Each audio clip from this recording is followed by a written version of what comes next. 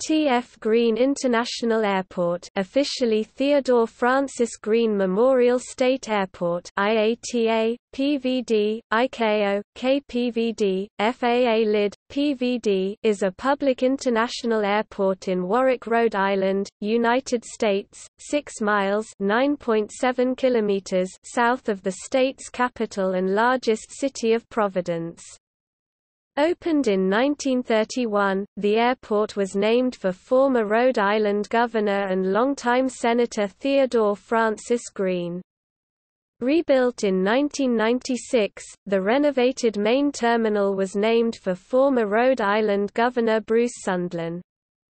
It was the first state-owned airport in the United States. The Federal Aviation Administration (FAA) National Plan of Integrated Airport Systems for 2017 to 2021 categorized it as a small hub primary commercial service facility (T. F. Green Airport is a regional airport serving the FAA's New England region in the FAA System Plan. The airport is the largest and most active airport among the six operated by the Rhode Island Airport Corporation RIAC.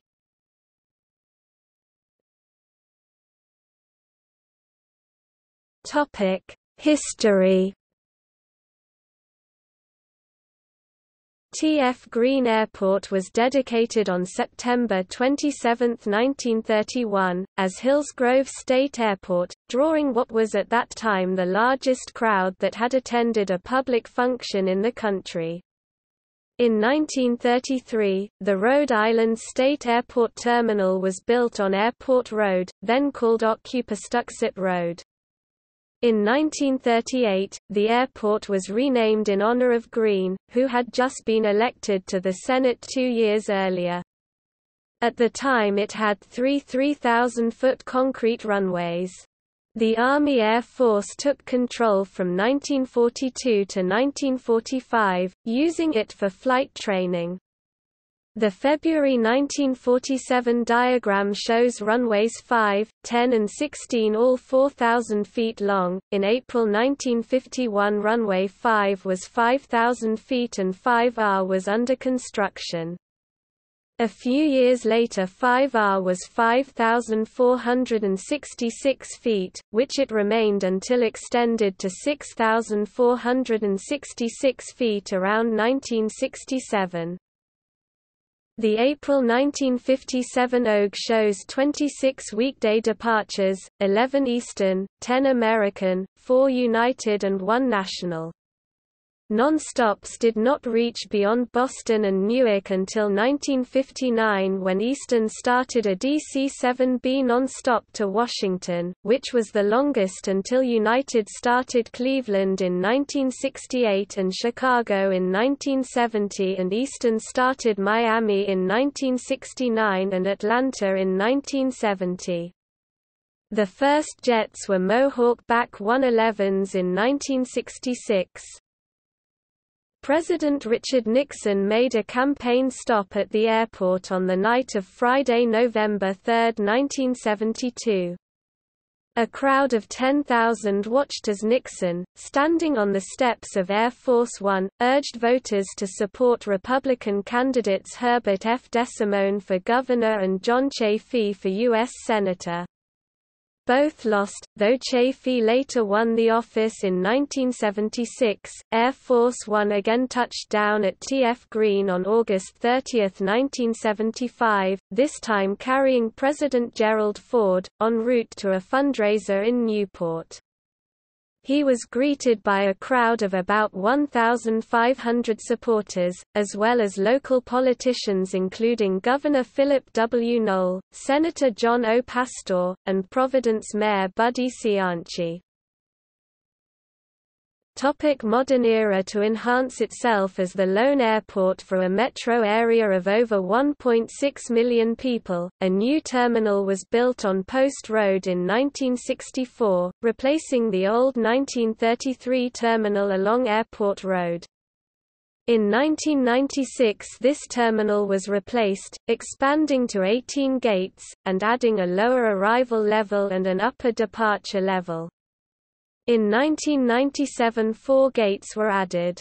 Airlines added flights to TF Green Airport, including Air Canada, Southwest, SATA International which operated flights to the Azores using an A310-300, and Spirit Airlines. After the September 11 attacks, TF Green Airport, like most airports in the United States, faced a temporarily decrease in passengers and fewer flights from American Airlines which once flew to Chicago O'Hare and Dallas, Fort Worth Airport, Spirit, and SATA.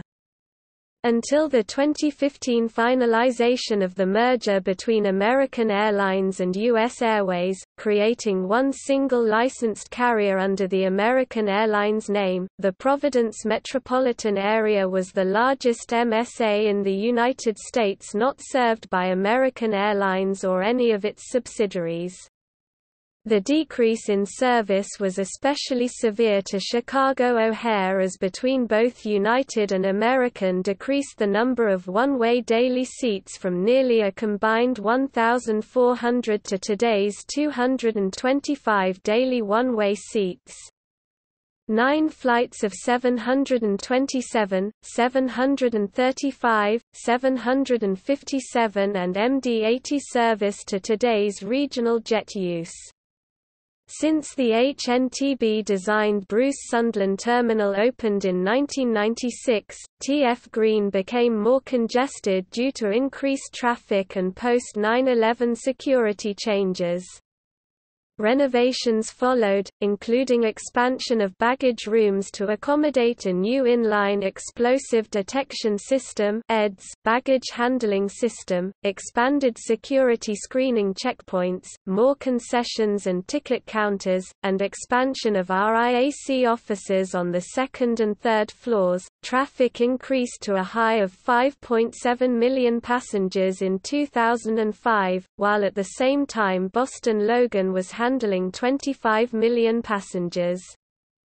After 2005 airlines started consolidating service at larger airports withdrawing service and reducing frequencies at mid-sized hubs and small-sized hubs.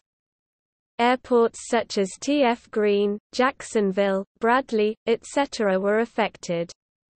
The recession and Boston Logan's proximity to the Providence metro area also took its toll on TF Green as numbers decreased to 3.5 million in 2015.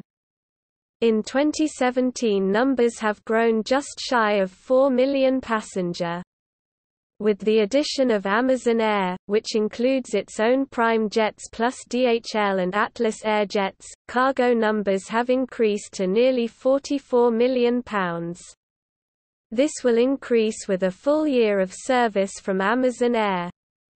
Amazon moved their cargo service from TF Green to Bradley International Airport as of August 1, 2018.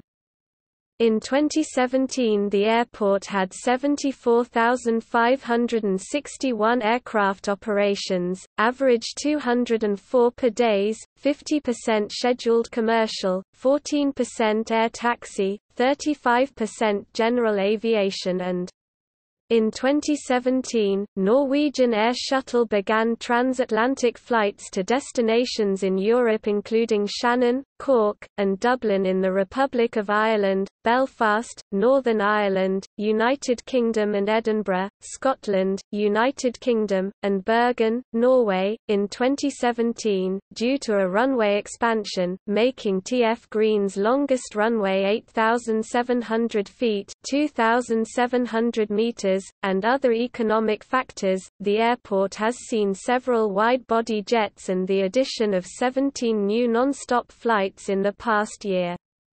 This doubles the number of destinations served non-stop from TF Green to 34. Cheaper fees at TF Green make it an appealing choice for sports teams and entertainers visiting the area. The National Football League's New England Patriots currently house both of the team's branded Boeing 767 planes at Rhode Island airports, one at TF Green, the official airport of the Patriots and the other at Quonset Point.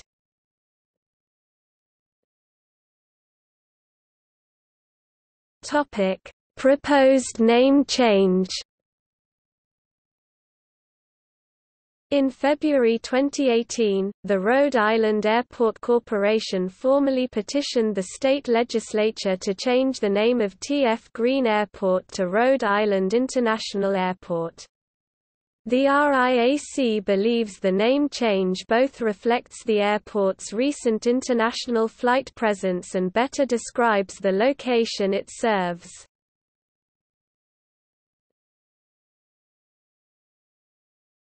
Topic: Facilities.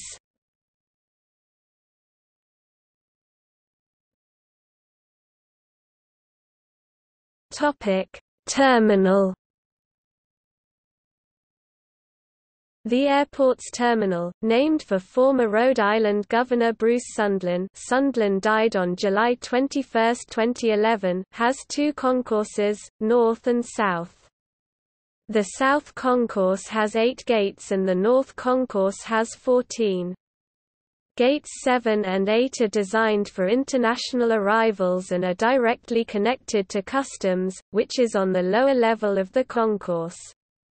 The terminal contains a number of stores and restaurants, and a central food court.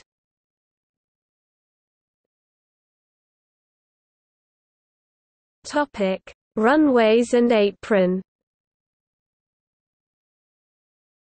Theodore Francis Green State Airport covers 1,111 acres 450 hectares at an elevation of 55 feet 17 meters. It has two asphalt runways, 5 23 is 8,700 by 150 feet 2,652 times 46 meters and 16 34 is 6,081 by 150 feet 1,853 times 46 meters. ILS is available for runways 5, 23, and 34, with runway 5 being certified for Cat 3 instrument landing. The other runways with ILS are certified for Cat I. Taxiway Victor was runway 5L, 23R until 2003.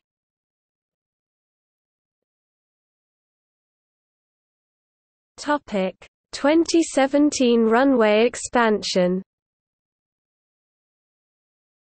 On October 1, 2017, TF Green's runway 5 23 was officially opened for use at its new expanded length of 8,700 feet.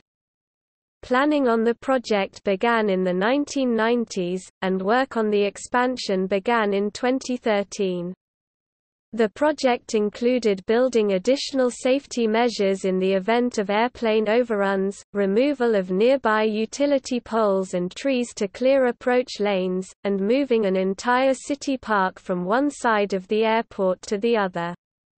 Officials are hopeful that the longer runway will attract more longer-range non-stop flights, such as the international routes that Norwegian Air began flying in 2017, as well as enhance safety for short-distance flights, giving pilots more runway to use in the case of poor weather conditions. The runway expansion was desired because, as the Rhode Island Airport Corporation (RIAC) wrote in 2001, the master plan completed completed in 1997 failed to envision the tremendous growth that TF Green experienced. The report identified the lack of runway length as a hindrance to range and diversity of service, in particular emphasizing ability to reach non-hub cities, the West Coast, and international locations. Challenges for TF Green in expanding the runway were the residential and commercial developments around it. Many residents opposed the expansion. Opponents noted that while the main runway would bring in an estimated $138 million over 13 years, doing so threatened 204 houses, at least 10 businesses, and large areas of wetlands. Opponents also argued that the runway was less critical to TF Green's success than it was during the peak of passenger travel prior to 9-11 and in the mid-2000s. Expansion opponents cited easier access to Boston's Logan International Airport since completion of the Big Dig which included improvements to Interstate 93, the Massachusetts Turnpike, and building the Ted Williams Tunnel. The availability of bus services between TF Green and Logan Airport, and the introduction of low cost carriers at Logan such as JetBlue, as reasons why the runway expansion was no longer as critical. Despite the opposition, on March 1, 2012, the Rhode Island Airport Corporation was given the go ahead to expand the runway and improve the safety of the secondary runway. The Warwick City Council unanimously voted to approve the expansion, and drop the lawsuit against the RIAC. President Obama signed a bill providing federal funds for the project. It was officially completed on October 1, 2017. In 2017, TF Green was named the official airport of the New England Patriots.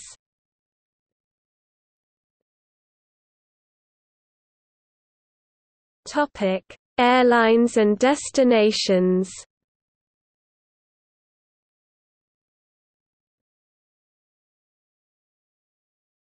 Topic: Passenger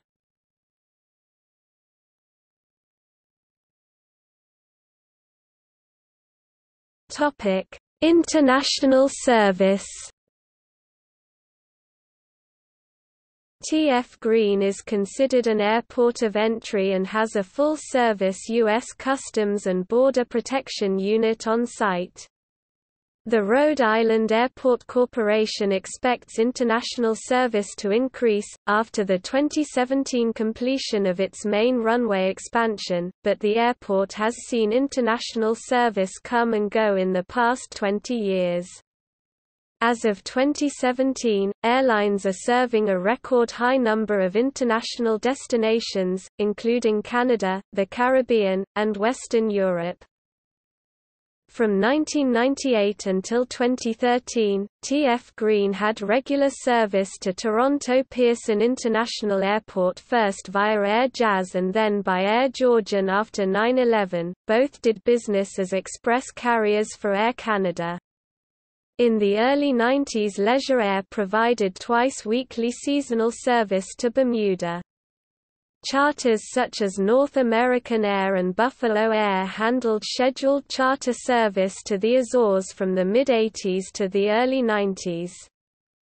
SATA International, now known as Azores Airlines, has recently resumed seasonal service to the Azores, having previously offered service until 2010.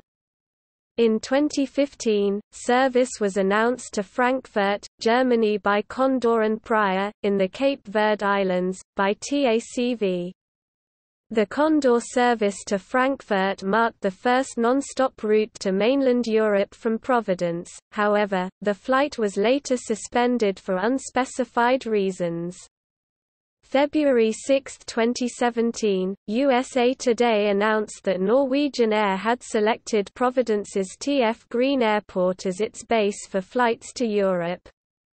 Norwegian Air Shuttle now operates from Providence using new Boeing 737 MAX planes for its service to cities in Western Europe. The official announcements were made February 23, 2017, with flights starting to Belfast, Cork, Dublin, Edinburgh, and Shannon.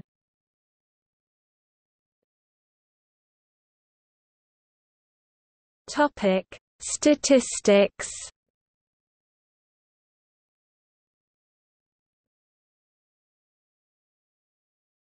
Topic: Top destinations.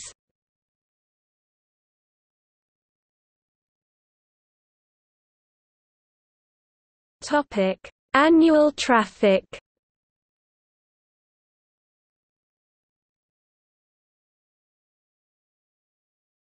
Topic: Ground transportation.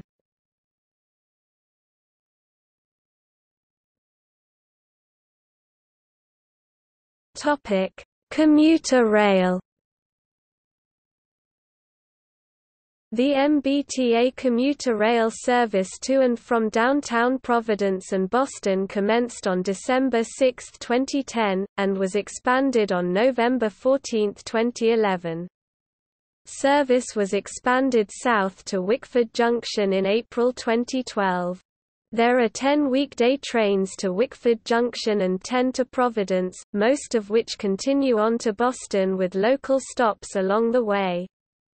Travel time to South Station in Boston is about 85 minutes, while the travel times to both Providence and to Wickford Junction are about 15 minutes. Amtrak has formally stated they will not stop at the station for the foreseeable future citing a lack of economical feasibility, however, a long-term proposal to reroute and modernize Amtrak's Northeast Corridor service would include a stop at the station.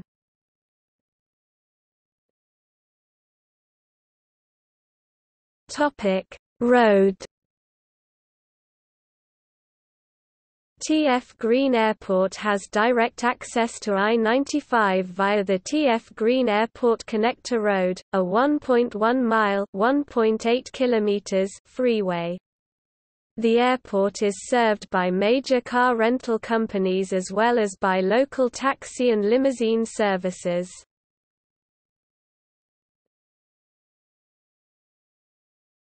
Topic: Bus. The Rhode Island Public Transit Authority offers public bus transportation to and from the cities of Providence Kennedy Plaza in downtown Providence and Newport.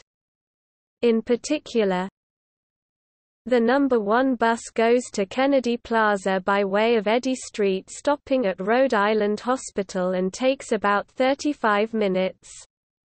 The number 1 bus continues through to the east side of Providence down Hope Street and into Pawtucket via East Avenue the number 14B Plaza and takes approximately 20 to 25 minutes via Interstate 95. It also connects to Newport, Narragansett, and East Greenwich. The number 20 bus goes to by way of Elmwood and Roger Williams Park and Zoo, and takes approximately 40 minutes. The No. 66 Uri, Gailey via I-95 Topic: Intermodal station.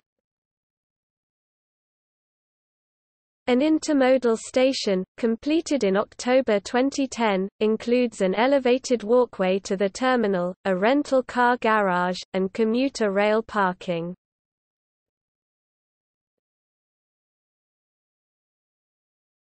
Topic: Accidents and incidents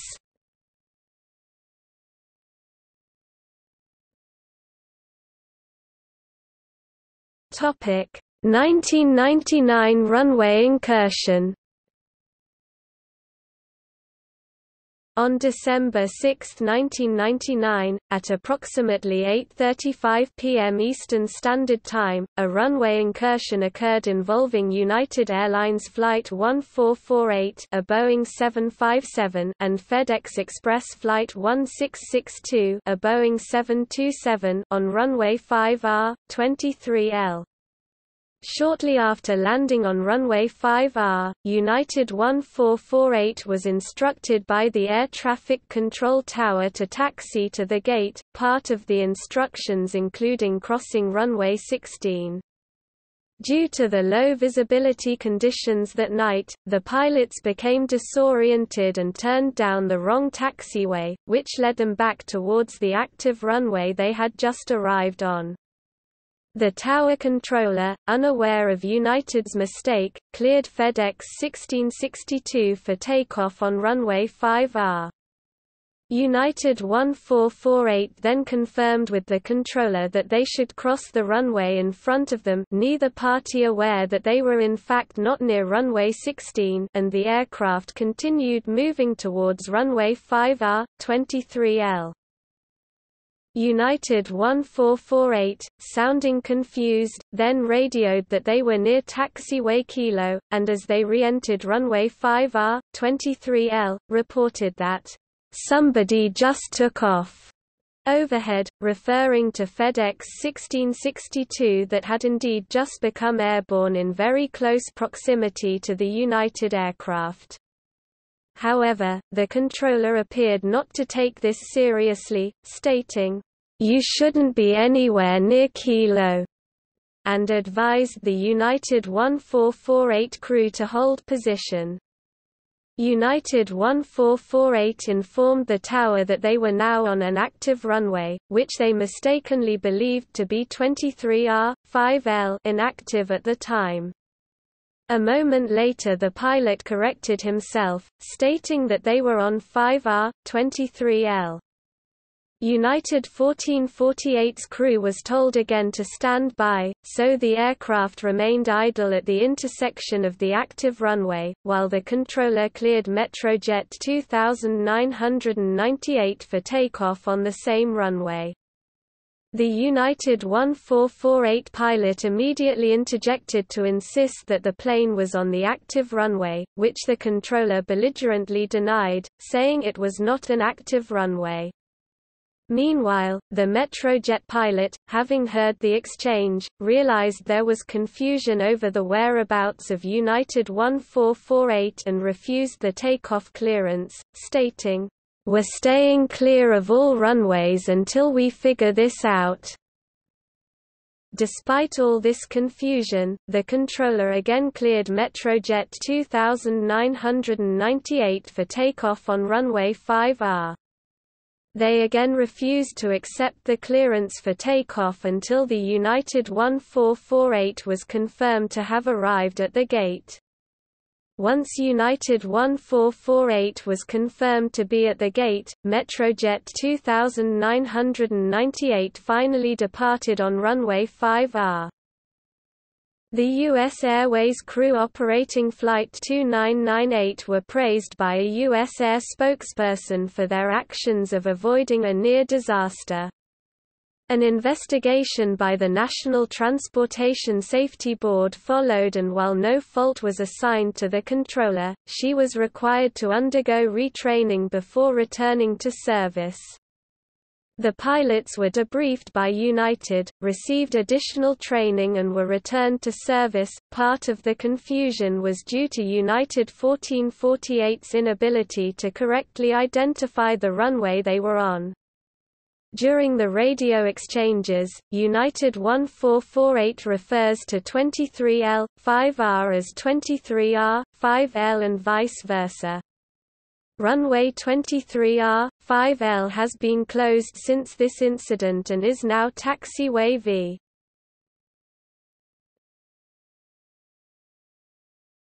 Topic 2007 CRJ accident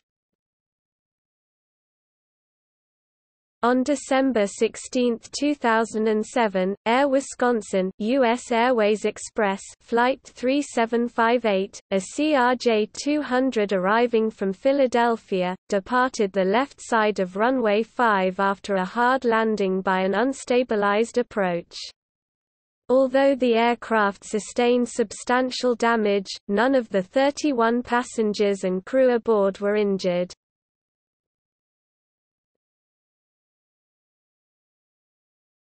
Topic. See also. Rhode Island World War II Army airfields. List of Class C airports in the United States